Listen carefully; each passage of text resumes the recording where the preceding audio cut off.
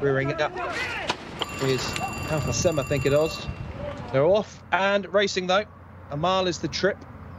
Pretty decent line through the centre. Hafed Allah is certainly one of the uh, early horses to show, just being rousted along for a position through the centre There uh, is the is the white cap of uh, Alpha Sem, and it's Alpha Sem who now goes on to establish a lead of about a length. Korea Hom is also prominent uh, towards the near side. Green cap there is Shahak. These are the first three. Towards the outside, the blue colours, or the blue cap rather, of Damaskino, as Korea Hom is certainly putting some zest into this field. Korea Hom leads by a length towards the half Bed Allah towards the outside. Shahak is between that pair, and so too the orange colours of Sayud is looking to get involved as the runners flashed by the halfway point. Towards the outside, Strategy is also there. Between that pair uh, is Doctory. The green colours of Al Najim Al Bahar is also prominent, and Mosakar is already being called upon for an effort as already the light green jacket of Doctory is going backwards towards the back of the field. Right out the back of the picture is the very pale silks of Shayam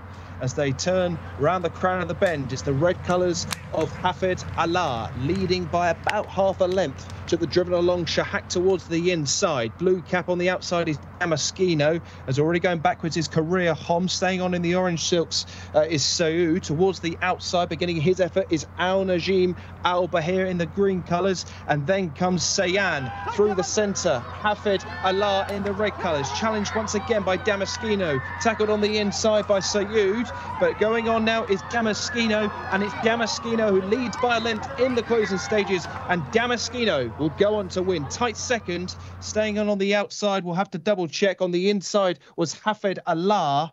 That was close for second. One or two just stumbling across the line, but Damaskino has got up to win. Another wide draw.